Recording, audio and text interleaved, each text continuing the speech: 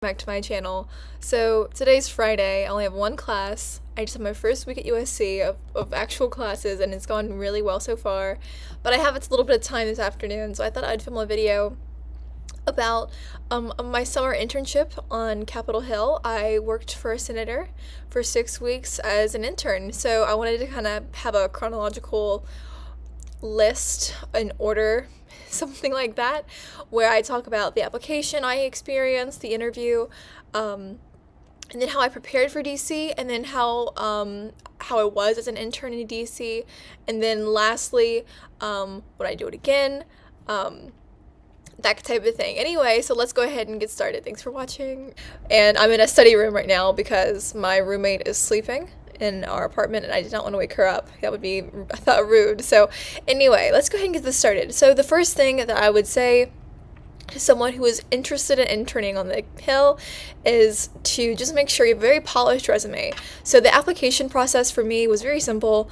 Uh, it, it, just included a little mini essay talking about like why you wanted to work for the senator in your state, that type of thing, and then there was a cover letter and a resume. So very basic um, application procedures and steps to follow, nothing crazy, right? So I think I applied in about February for the position, and I, you know, I heard back pretty few weeks later that for my interview process, and um, not anything very scary in the interview. Very basic um, internship or like work questions, including like, um, so why are you interested in interning for the senator in your state?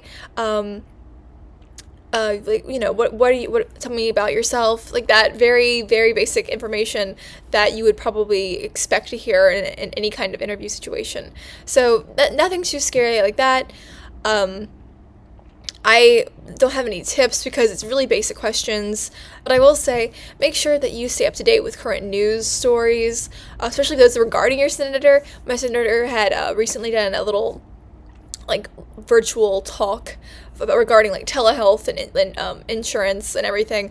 And so I made sure I was up to date with that, and I sprinkled in information that I had learned about my senator um, throughout the interview, just because it makes you seem like you really know what you're talking about, and it shows that you're really invested, interested in the position. So that's what I did. so that's my second little bit of information, and then my third little bit of information I would tell anybody is that um, after the interview, after the application, um, let's say that you learn that you got the job. So this is going to be the hardest part of probably anything you've done so far regarding this internship, which is finding DC housing. No one warned me, no one told me that it was going to be such a nightmare. It worked out in the end.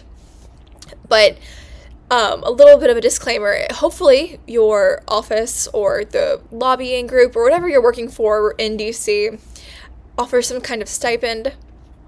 Fortunately, mine offered a stipend of about twelve fifty for the six week period, which you know I saw some that were higher, some better paid interns, and I saw some that were not paid at all. So I'm not complaining, but at the same time, it is not easy living in DC, and it's not very cheap to live in DC. So you probably already knew that, but I'm just reiterating that. So I initially planned to do an Airbnb with my friends, but several things fell through, did not work out. So I ent- ended up inter- um, staying at a Catholic convent in Brookland, um, DC. It's a little bit of the, it's near. They call it like Little Italy in DC, but it's like by the Catholic University. It was a great location, about like less than a half mile from the metro stop that went directly to Union Station for the Senate office building. So that was wonderful, but it was definitely a very stressful time trying to find housing. So I would say even if you think you're going to get this internship or you think you're going to have an opportunity to work in DC, make sure you take care of housing relatively early because it's going to be a nightmare trying to find it if you wait too long, like me. I probably waited. I mean, I did wait until after I got the position, but I should have probably already put like a deposit down on, like a low deposit on anything because I, it, was a week before I got there when I found my housing, and, it, yeah, it wasn't even a full week. It was about like four days. So it wasn't even a full week. It was four days. I don't know what I was thinking. So anyway, that's just something to remember. All right. And then the fourth thing I would say is like the dress code. I didn't see a lot of information about this online, but um, it was mostly on um, days we were out of session, very basic for the for the women. It was just like a blouse or a button-up little shirt, or nothing um, nothing too fancy. I don't know, not but not a t-shirt, but like a nice little shirt, and you know you could wear a skirt or pants. But some offices said yes to jeans on it out of session days, some didn't. But uh, my office said you could wear jeans, but then later said you couldn't wear blue jeans, so that was a little bit confusing. But whatever, this is, interesting. And then for the men, it was, I think, a button up and I think jeans, not blue jeans, and like, like that. But for in session days, it was definitely more dressed up. The men had to wear button ups, suit jackets, suit pants, and a tie, and the women could wear pretty much the same thing for the out of session days with just no jeans or um, or blue jeans. So it wasn't anything crazy. And then the shoes were pretty basic. I don't know what they were for the men. I think it was like just shoes or I think even tennis shoes were permitted, but for the women, um, just like no flip flops or sandals, or for the men too. Like you couldn't wear sandals or flip flops, but um, it's pretty basic. It wasn't anything like extravagant. And um, yeah, right, so let's say you have this internship now, you know what to wear, you know what's going on. Um, here's just some information that I would share with somebody who's about to start an internship or in DC for a congressman or senate, you know, in the Senate or in the House. Um, I think the biggest thing that I learned was just how important networking was.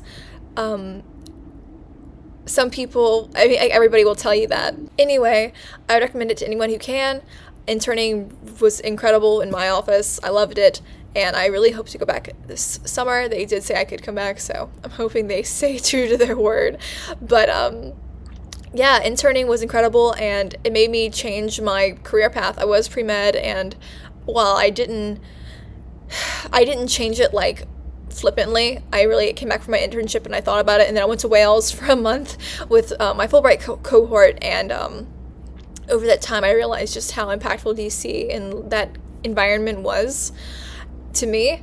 And that's when I was like, okay, I'm gonna go to USC and I'm gonna be pre law and I'm going to minor in news media and policy. So you never know, it might change you too. So um, thanks for watching and I hope this was helpful. Bye.